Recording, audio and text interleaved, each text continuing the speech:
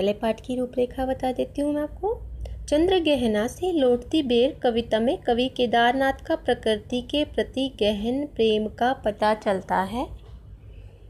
वह चंद्र गहना नामक स्थान से लौटते हैं तो वहाँ का प्राकृतिक परिवेश उन्हें आकर्षित कर लेता है। उसी प्रकृति एवं संस्कृति की एकता को इस कविता में व्यक्त किया गया है। केदारनाथ अग्रवाल के बारे में थोड़ा बता देती हूँ मैं आपको। ये प्रगतिवादी कवि हैं और लेखक हैं। इनका जन्म सन 1911 में उत्तर प्रदेश के बांदा ज़िले के कमसिन गाँव में हुआ था।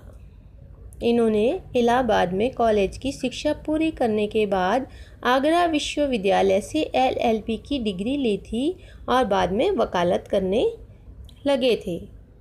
इसके साथ ही इन्होंने राजनीतिक, सामाजिक और साहित्यिक जीवन में भी अपनी सक्रियता बनाए रखी।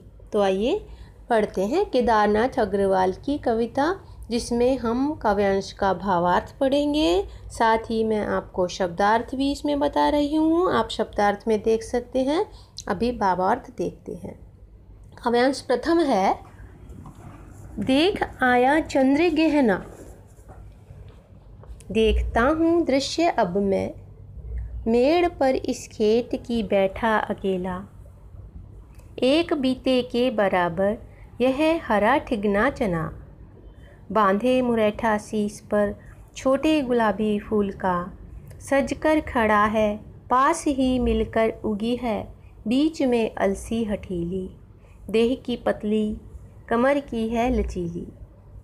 नील फूले फूल को सिर पर चढ़ाकर कह रही है, जो छुए है, दू हृदय का दान उसको। इस काव्यांश में कवि ने ग्रामीण दृश्यों को अत्यंत सजीव रूप में प्रस्तुत किया है। गाँव का दृश्य उन्होंने इसमें बताया है।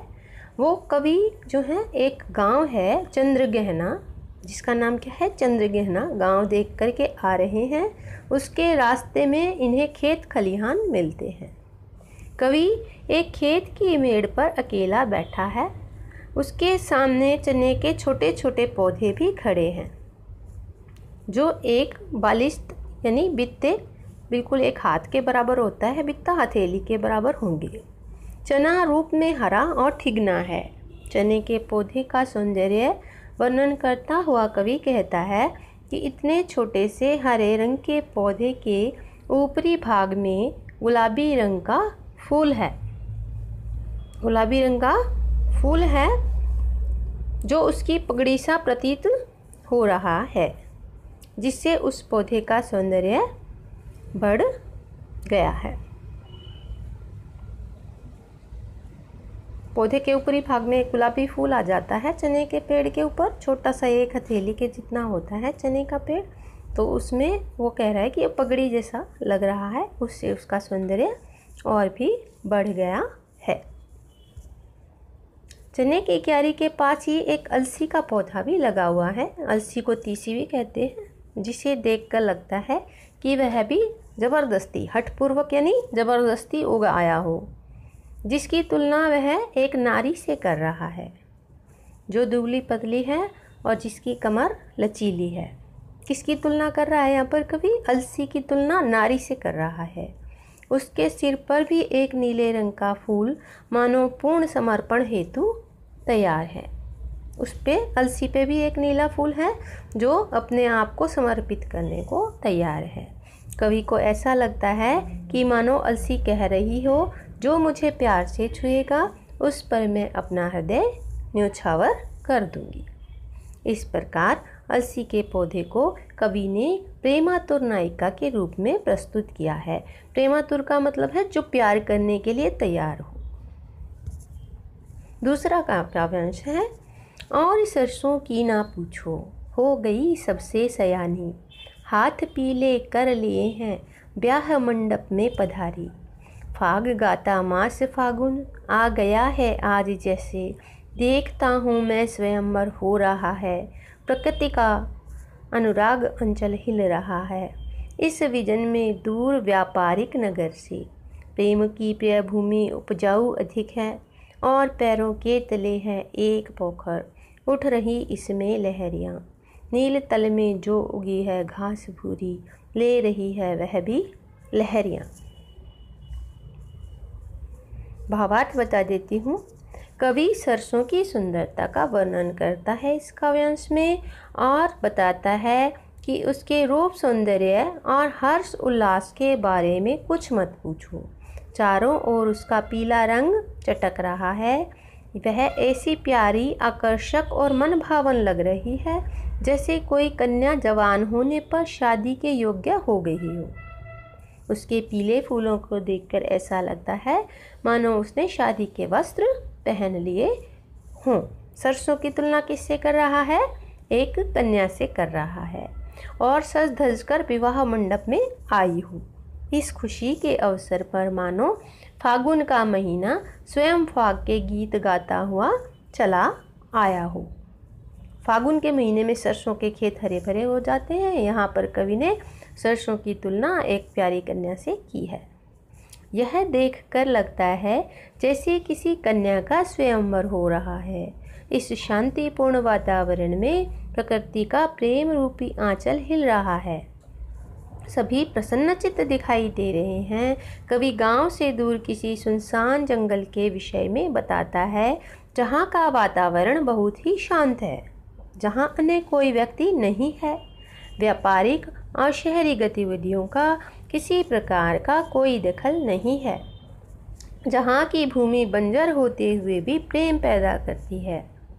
यहाँ तक कि वहाँ के पेड़ पौधे भी प्रेम करते हैं। यहाँ पर प्रकृति का प्रत्येक अंग प्रेम से सराबोर दिखाई दे रहा है। जहाँ कभी बैठा है, वहाँ छोटा सा तालाब है। जिसमें लहरें उठती रहती हैं और वहाँ तालाब के साफ़ पानी के तल में उगी घास भी लहराती दिखाई देती है। तीसरा कावंश हमारा है, एक चांदी का बड़ा सा गोल खम्बा आँख को है चकमकाता। हैं कई किनारे हैं कई पत्थर किनारे, पी रहे चुपचाप पानी। प्यास जाने कब बुझेगी? चुप खड़ा बगुला डुबाए टांग जल में। देखते ही मीन चंचल ध्यान निद्रा त्यागता है, चट चबाकर चौक में नीचे गले के डालता है। भावार्थ ये है कि प्रस्तुत पंक्तियों में कवि ने एक तालाब का वर्णन किया है। उस स्थान के प्राकृतिक सौंदर्य का वर्णन करते हुए वह बताता है कि तालाब के पानी में सूर्य की रोशनी चांदी के गोल खंबे के समान प्रतीत होती है तथा उसकी चमक आँखों में चकाचौंध पैदा करती है।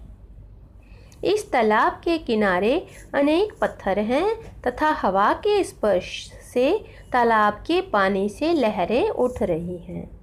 जिस कारण तालाब के किनारे का पानी उन पत्थरों को छू रहा है।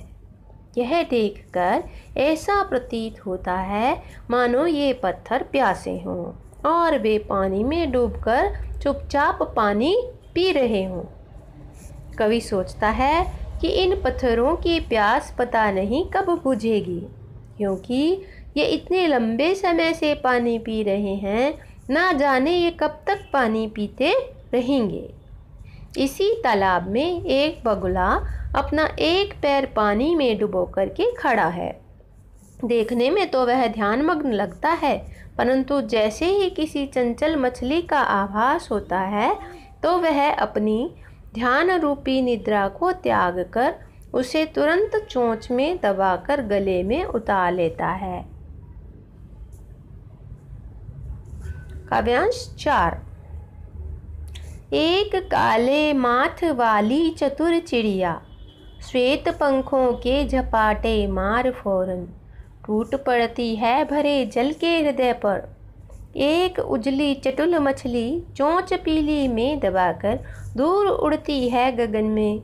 और यहीं से भूमि ऊँची है जहाँ से। रेल की पटरी गई है, ट्रेन का टाइम नहीं है। मैं यहाँ स्वच्छंद हूँ, जाना नहीं है। प्रस्तुत काव्य, पंक्तियों में कवि ने बगुल्ले के समान चतुर एक चिड़िया का वर्णन किया है। तालाब के किनारे ही काले माथे वाली, अर्थात काले सिर वाली एक चिड़िया है और उसके पंख सफ़ेद हैं। जैसे ही वह कोई सफ़ेद मछली देखती है तो उस पर टूट पड़ती है और उसे अपनी पीली चोंच में दबाकर आकाश में उड़ जाती है और वहीं उड़ते उड़ते ही उसे खा लेती है। कवि जिस स्थान पर बैठा है, वहाँ के सामने दिखाई देने वाली भूमि का धरातल ऊँचा है। वहाँ से रेल की पटरी भी गुजर रही है। कवि कहता है कि अभी किसी गाड़ी के आने का समय नहीं है और वह अभी जाना भी नहीं चाहता, क्योंकि वह इस समय स्वतंत्र है, अर्थात उसे कोई विशेष काम नहीं करना है। प्रकृति का अद्भुत और आकर्षक रूप कवि को वापस जाने से रोक रहा है। चित्रकूट की अनघड़ चौड़ी कम ऊँची ऊँची पहाड़ियाँ दूर दिशाओं तक फैली हैं। बांझ भूमि पर इधर उधर रीवा के पेड़ कांटेदार कुरूप खड़े हैं। सुन पड़ता है मीठा मीठा हस्त पकता सुग्गी का स्वर, टे टे टे टे, सुन पड़ता है। वनस्थली का हृदय चीरता उठता गिरता सारस का स्वर टिरेंटो टिरेंटो इन पंक्तियों में कवि चित्रकूट की प्राकृतिक छटा का वर्णन करते हुए बताता है कि चित्रकूट की ऊँची और नीची उबड़ और खावड़ पहाड़ियाँ दूर दूर तक फैली हुई हैं। इस क्षेत्र की भूमि उपजाऊ नहीं है, यानी बंजर है। जो बंजर भूमि होती है, वो उपजाऊ नहीं होती, वहाँ पर कुछ भी उगता नहीं है। यहाँ किसी प्रकार की घास, हरियाली या छायादार पेड़ नहीं है। इस भूमि पर इधर उधर कांटेदार कुरूप रीवा के पेड़ उगे हुए हैं। रीवा के पेड़ कुरूप और भद्दे इसलिए हैं क्योंकि उनमें ना तो हरियाली है, ना ही ताप मिटाने योग्य छाया है और ना ही मन को शांत प्रदान करने वाला सौंदर्य है। इस वातावरण में एक और पोखर के किनारे से तोते का रस टपकाता मीठा स्वर, टेटे सुनाई पड़ता है तो दूसरी ओर जंगल के हृदय को भेदता सारस का स्वर भी सुनाई पड़ता है। सारस के जोड़ों की टिरंटो टिरंटो की ध्वनि सारे जंगल में दूर दूर तक गूंज रही है। सारस का स्वर कभी तीव्र होता है, कभी मंद पड़ता है। इस प्रकार सारस के स्वर से मानो जंगल का हृदय बिथ हो गया हो, यानी चलनी हो गया हो। छठा काव्यांश है, मन होता है उड़ जाऊँ मैं। पर फैलाए सारस के संग, जहाँ जुगलू जोड़ी रहती है हरे खेतों में। सच्ची प्रेम कहानी सुन लूँ चुप्पे चुप्पे। इस पंक्तियों में प्राकृतिक वातावरण व उसके आसपास की शांति और दूर से आती सारस की आवाज़ को सुनकर कवि का मन विभोर हो उठता है। विभोर होना यानी खुश होना। उसका मन कहता है कि वह भी सारस के साथ पंख लगाकर उड़ जाए। जहाँ लहलाते खहरे खेतों में वह युगल जोड़ी रहती है। युगल माने कपल दोनों। वह भी उनके साथ उसी प्राकृतिक वातावरण में रहना चाहता है, क्योंकि प्रेम के लिए प्राकृतिक वातावरण से उपयुक्त स्थान कोई है ही नहीं। कवि यहीं रहकर चुपचाप तथा छिपकर उनकी सच्ची प्रेम कहानियाँ भी सुनना चाहता है।